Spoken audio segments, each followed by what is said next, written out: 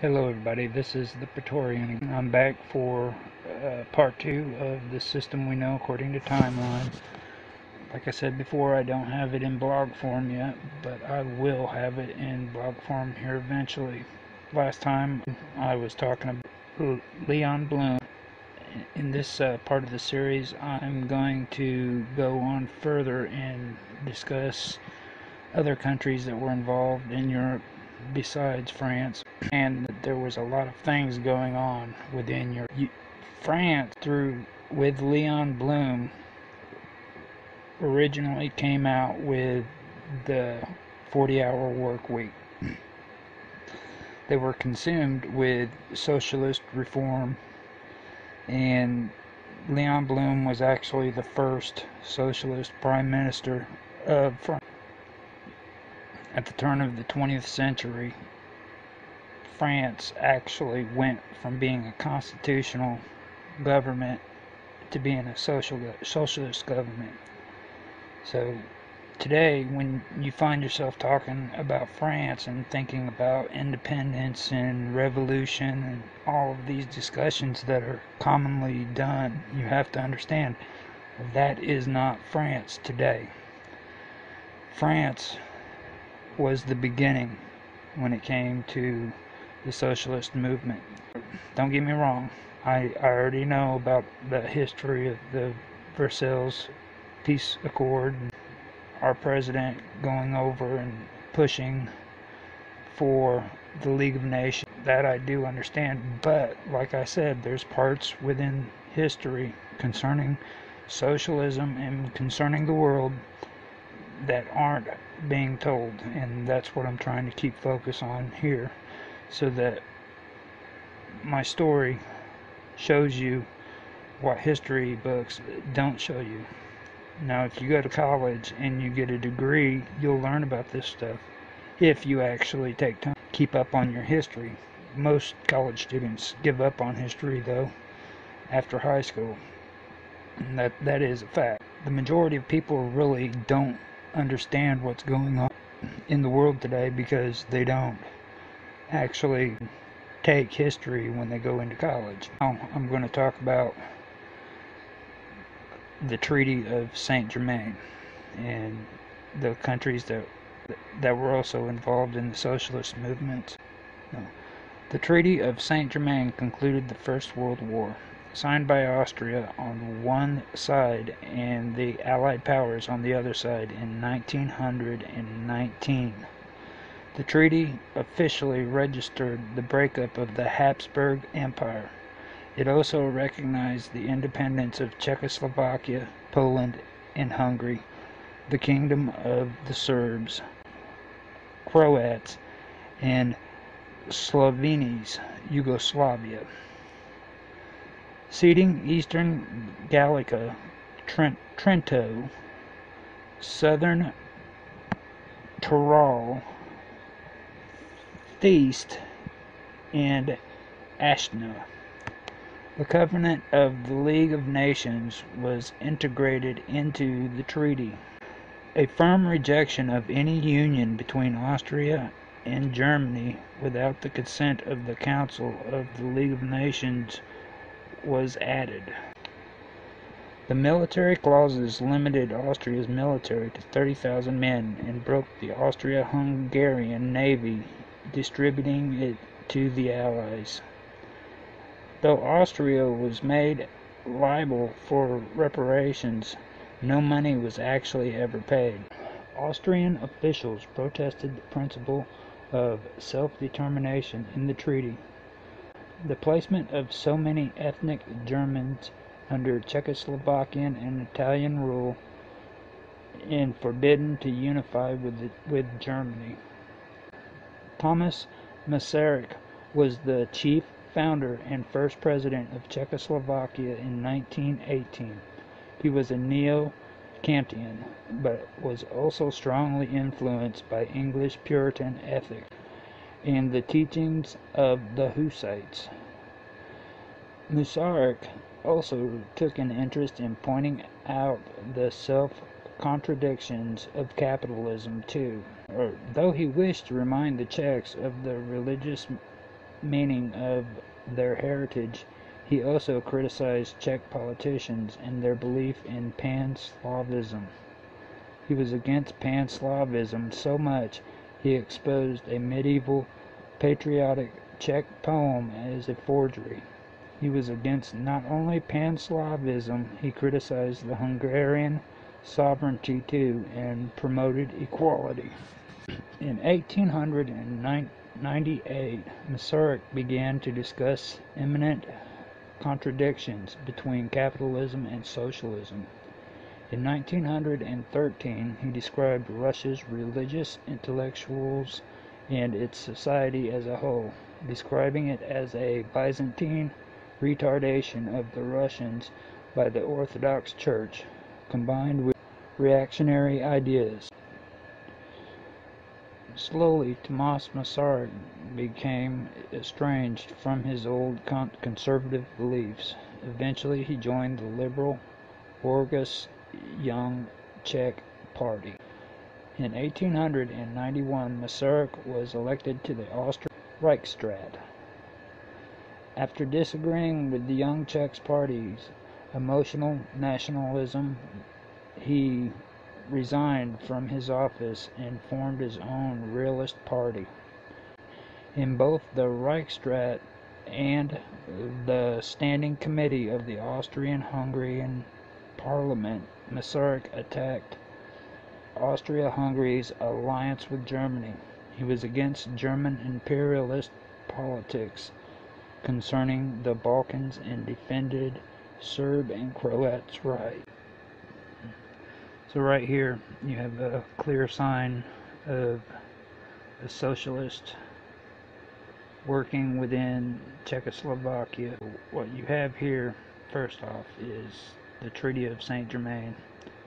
It concluded the First World War, and it was signed by uh, both Austria and the Allied powers in 1919. It also broke up the Habsburg Empire. Now, the Habsburg Empire within, and you had called the Order of the Golden Fleece. Two parts of the Order of the Golden Fleece. You had one that was, or it's the Habsburgs, Habsburgs, which was in, you know, Hungary and Germany and areas like that. And then you had another half, which was down in Spain. And these two orders within within the uh, Holy Roman Empire, they had a lot of money. Now, this money came up missing.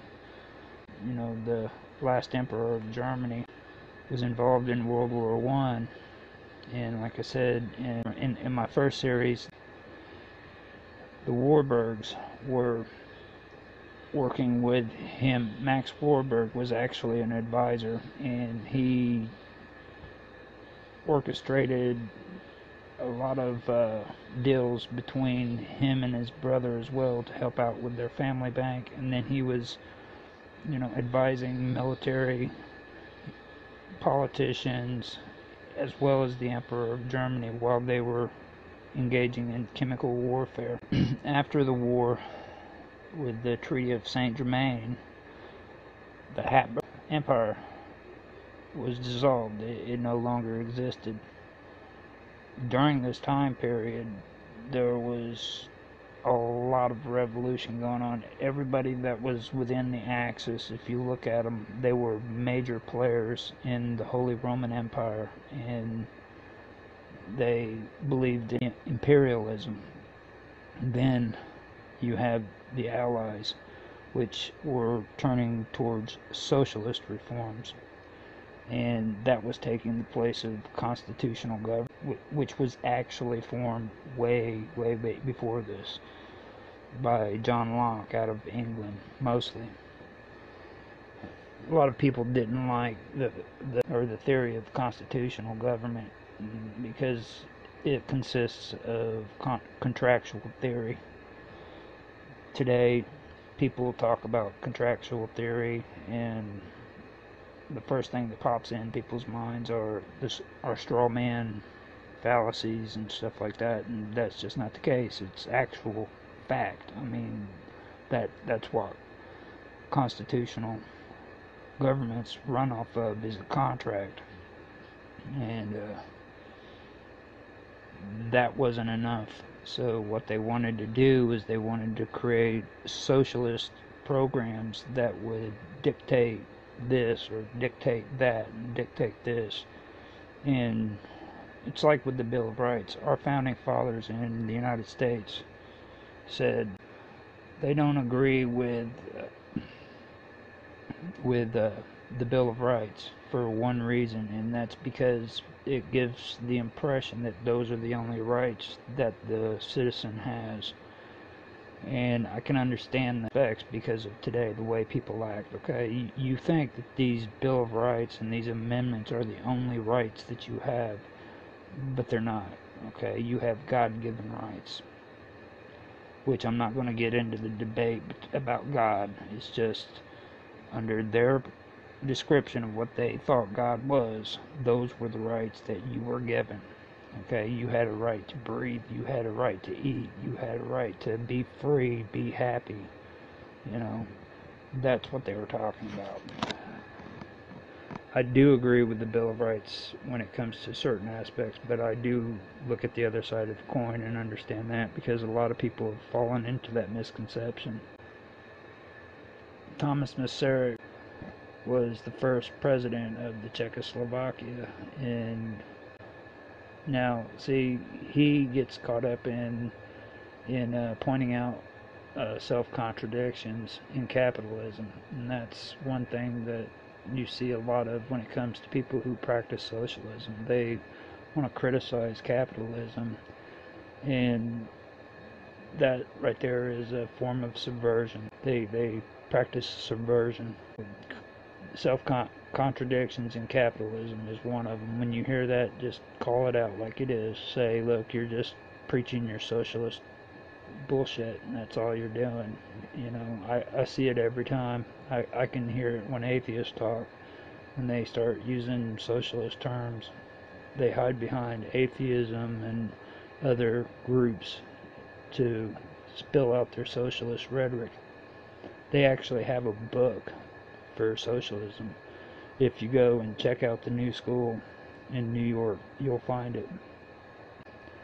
Now, Pan Slavism, that's where it starts getting all murky and uh, real cr- crazy because you have Pan Slavism and then you have Pan Russianism.